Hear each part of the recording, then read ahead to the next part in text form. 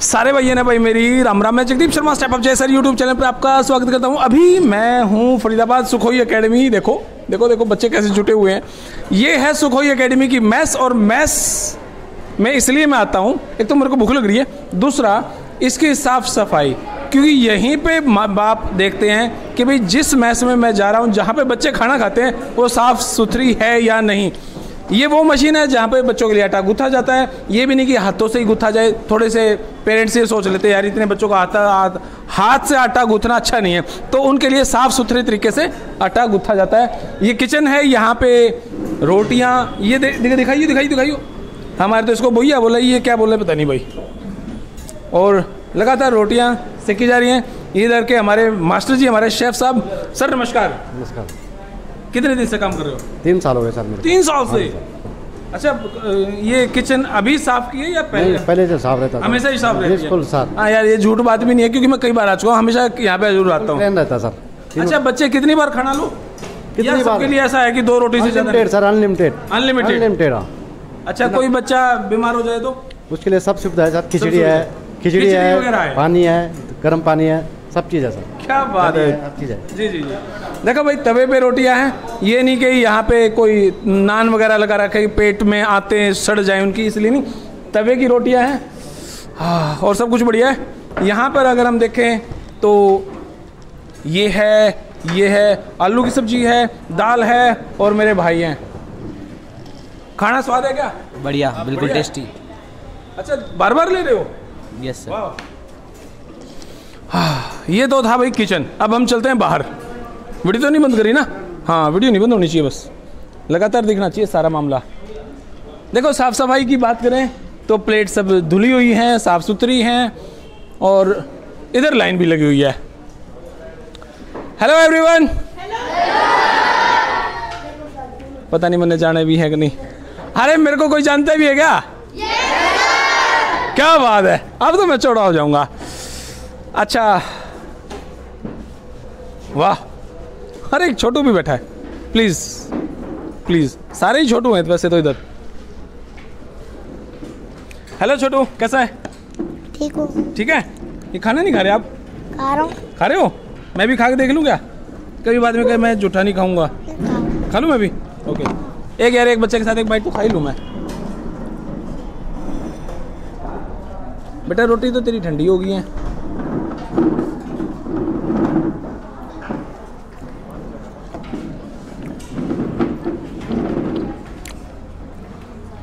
तो बैठा ही ऐसा है कि हाइट ही इतनी है तेरी। ओके कहाँ से है? यूपी मुरादाबाद। यूपी मुरादाबाद? वाह। Thank you Chhotu thank you तो ये बच्चे मोस्टली सभी हरियाणा से बाहर। हरियाणा से बाहर कितने बच्चे हाथ खड़ा करो। अरे हरियाणा का कौन? हाथ नीचे करो हाथ में हरियाणा के कौन? हाथ खड़े करो। एक दो तीन चार। ये चार पाँच बच्चे हरियाणा के बाकी सारे बाहर से हैं। अच्छा कहाँ से हो? बिहार। बिहार से? कहाँ से? गुजरात। गुजरात। कहाँ से? राजस्थान। कहाँ से? महाराष्ट्र। हाइला सारे अलग अलग स्टेट से। कहाँ से हो?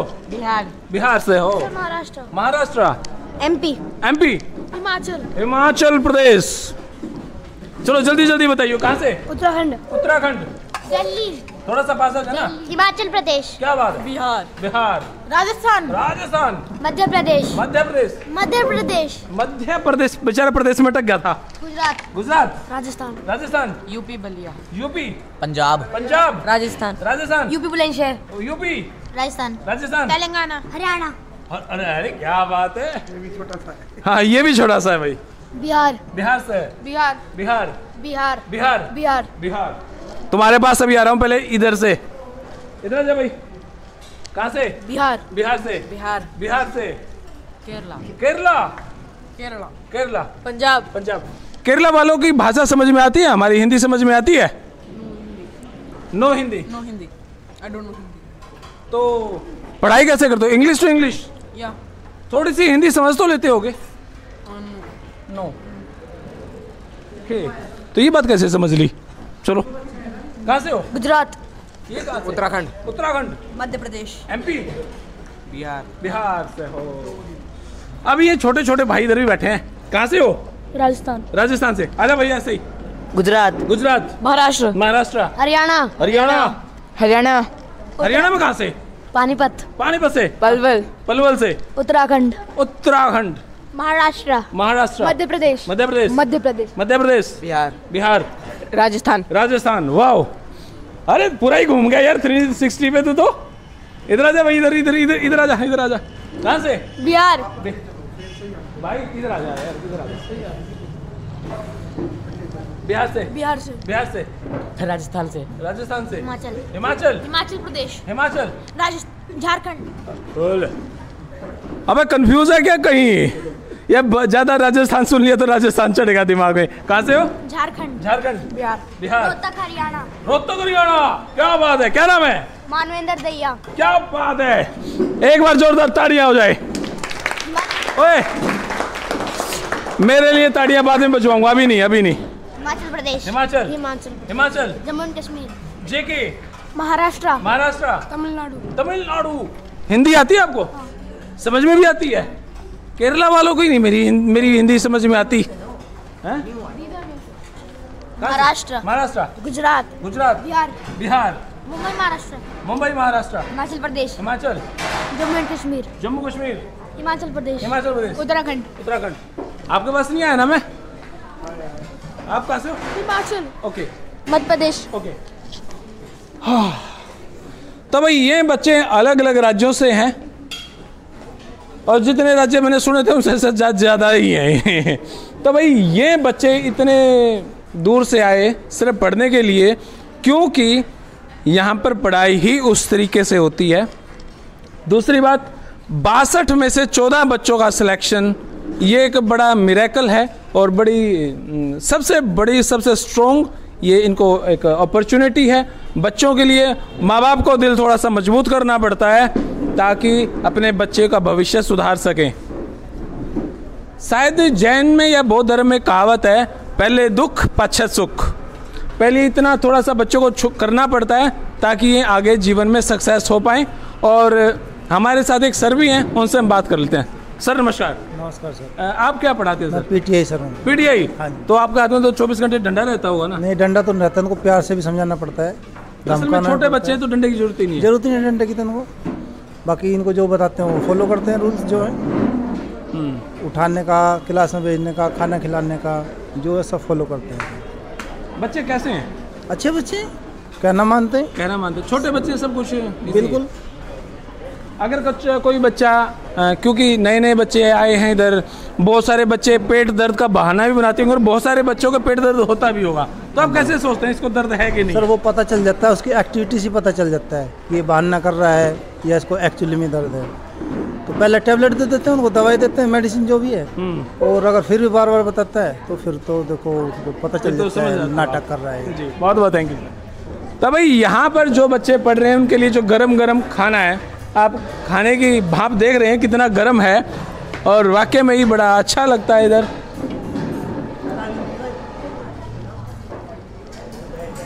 कितनी बार खाना बनता है दिन में? तीन बार सर। तीन बार? तो तीनों बार नया ही खाना है ताज़ा ही बनता है क्या? ताज़ा बनता सर। या ये दाल बच गई तो इसको दोबारा से गर्म सर बचा ऐसे नहीं होता सर। ये बचेगी ही नहीं? नहीं सर बचती नहीं। ओके। तो भाई कोई अपने माँ बाप को कुछ मैसेज देना चाहे कोई बच्चा है सर हाथ खड़े करो। जैसे मान लो कैसे मैं मेरे माँ बाप को कहना चाहूँगा कि papa I love you mummy I love you और आपने मेरे लिए बहुत कुछ किया और आप सबसे बेस्ट हो। इस तरीके से कोई बोलना चाहेगा क्या? आप very good give a big hand very good very good तो क्या? Mummy papa I love you वाह और कौन बोलना चाहेगा? अच्छा आप भी। आप सारे हाथ खड़ा कर लियो। कोई नया मैसेज होना चाहिए हर बार? नमस्ते सर। मैं बस इतना ही कहना चाहता हूँ कि मेरे मम्मी पापा ने मुझे यहाँ पर भेजा। थोड़ा दुख भी सहन किया और मुझे भी शुरू शुरू में थोड़ा दुख हुआ लेकिन अ, पढ़ना था और कुछ बनने के लिए भेजा था कुछ करना था इसलिए मम्मी पापा ने भेजा। तो बस बस मैं यही कहना चाहूँगा thank you mummy papa. Thank you mummy papa है सो लवली जी। मम्मी पापा आप कैसे हो? फ़ोन पे बतिया रहा है बेटा। अच्छा मम्मी पापा ने कह दिया हम अच्छे हैं बेटा आप कैसे हो? मैं भी ठीक हूँ। खाना वाना खा लेते हो? Yes sir okay thank you बेटा। और कौन बोलेगा? मैं अपने पेरेंट्स को यही मैसेज देना चाहूँगा यहाँ पर मैं पढ़ाई करने के लिए आया हूँ तो सैनिक स्कूल और मिलिट्री स्कूल पक्का निकाल के जाऊँगा। क्या बात है very good very good my mother father is the best in the world my mother father is best in the world और कौन बोलना चाहेगा? ये क्या बात है? कहाँ से हो? महाराष्ट्र महाराष्ट्र से क्या कहना चाहोगे? सर मैं अपने मम्मी पापा को यही बोलना चाहूँगा कि उन्होंने मुझे इतना दूर भेजा पढ़ाई के लिए वो सबसे बेस्ट मम्मी पापा है। क्या बात है कितना क्यूट बच्चा कितना अच्छी अच्छी इतने छोटे बच्चे इतनी बड़ी बड़ी बातें बहुत बड़ी बात। हाँ जी। मेरे पापा का एक सपना था कि मैं आर एम एस में जाऊँ और आर आई एम से क्लियर करूँ इसलिए मेरे पापा ने मेरे को इधर भेजा है आई लव यू क्या बात है यार। हाँ बेटा। मम्मा पापा मैं आप टेंशन मत लेना इस बार मैं हमेशा की तरह सिलेक्शन लेके अच्छे मार्क्स से आऊँगा और आपका सपना पूरा करूँगा। क्या बात है बहुत अच्छे बहुत अच्छे। I love you mummy papa. Sir और वो मैं कहना चाहता था कि मेरे पापा का पहले सपना था कि आर एम एस हो फिर मेरे आर एम एस में अच्छे नंबर आए तो मेरा नहीं हो पाया तो इस साल हो जाएगा ये सपना है। मैं ये चे- कहना चाहूँगा अपने मम्मी पापा से। और कौन है जो अपने मम्मी पापा को अच्छा सा मैसेज देना चाहें? जी। मैं ये कहना चाहता हूँ कि इस बार मेरा आर एम एस और सैनिक दोनों क्लियर हो जाए। वेरी गुड और अपने मम्मी पापा को any message for mother and father. No I love you just say I love you I love you I love you और कौन है जो मैसेज देना चाहेगा मम्मी पापा को? Okay that's ji. Mummy papa आप लोगों ने मेरा बहुत सपोर्ट किया मुझे यहाँ तक छोड़ा मैं आपको इस साल पक्का करके दिखाऊँगा। I love you mummy. I love you papa. Very good और कौन बोलेगा? उधर। अरे हाथ तो नीचे कर ले बेटा रोटी खा ले फिर मैं आऊँगा तेरे पास। हाँ जी। मम्मी पापा आपने मुझे यहाँ पर इतनी मेहनत से भेजा मेहनत करने के लिए। अब आप जब अब आपने मुझे भेजा है तो मैं क्लियर करके ही निकलूँगा आपका नाम रोशन कर दूँगा। क्या बात है। और कौन बच्चा है?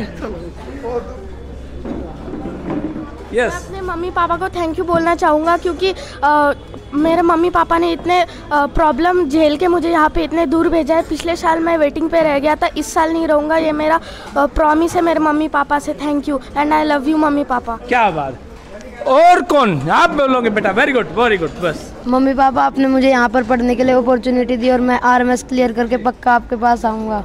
और अच्छे मार्क्स से वो भी। जी जी। और कौन बच्चा बोलेगा? बोलेंगे बेटा? बोलोगे? अच्छा अच्छा अच्छा। बोलो बेटा।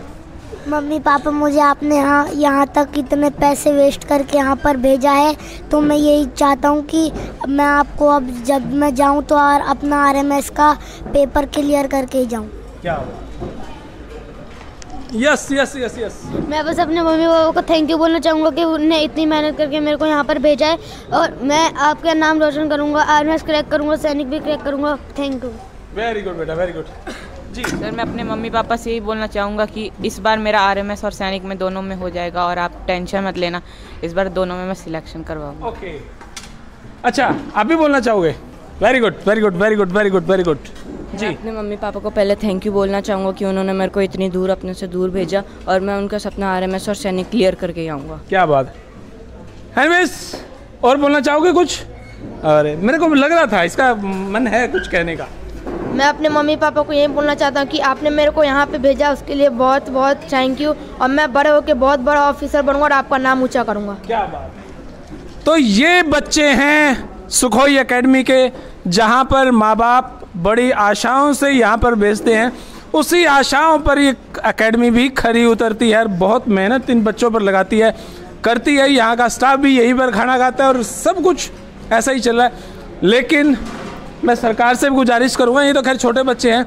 इसी तरीके से जो बड़े बच्चे जो हरियाणा एग्ज़ाम या और एग्ज़ाम लेते हैं उन्हें टाइम पे ले लें। बच्चों की मेहनत, बच्चों की उम्मीदें ऐसी ही हैं, अपने माँ बाप की तरफ़ देखते हैं।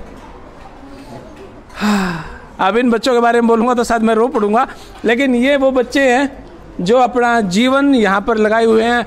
माँ बाप अपने कलेजे का टुकड़े को यहाँ पर छोड़ के गए हैं।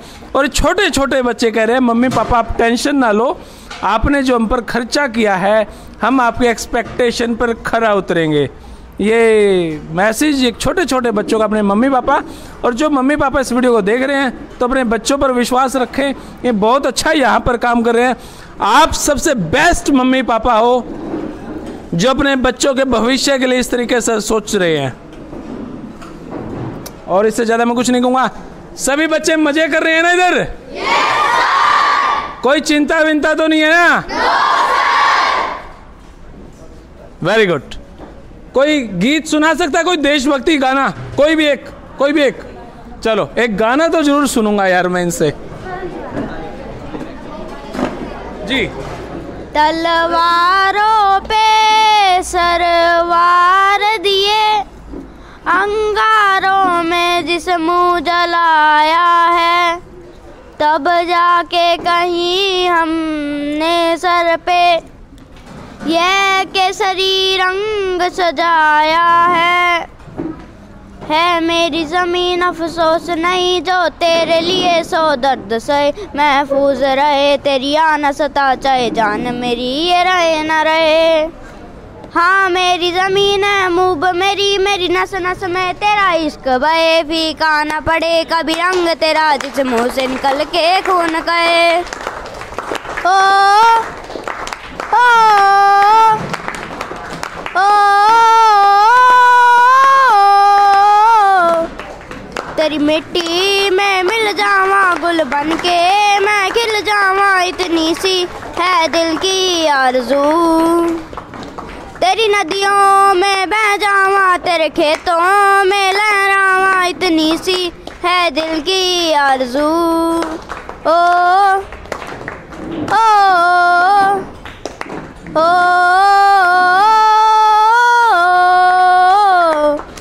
सरसों से भरी कलियान मेरी जहाँ झूम के बंगड़ा पा न सका आबाद रहे वो गाँव मेरा जहाँ लौट के वापस जा न सका ओ वतना में मेरे वतना में तेरा मेरा प्यार निराला था। कुर्बान हुआ तेरी असमत पे, मैं कितना नसीबा वाला था। तेरी मिट्टी में मिल जावा गुल बन के, मैं खिल जावा इतनी सी है दिल की आरज़ू। तेरी नदियों में बह जावा, तेरे फ़सलों में लहरावा इतनी सी है दिल की आरज़ू। बहुत बहुत थैंक यू बहुत बहुत thank you very good very और कोई देशभक्ति गाना गाना चाहेगा क्या कोई? ओके तो वीडियो में यहाँ पे रोकता हूँ और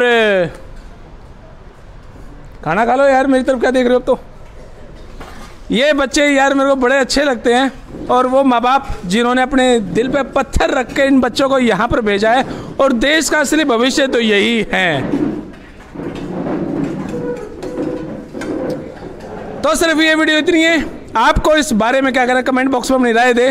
तब तक के लिए तब तक के लिए भारत माता की जय। Thank you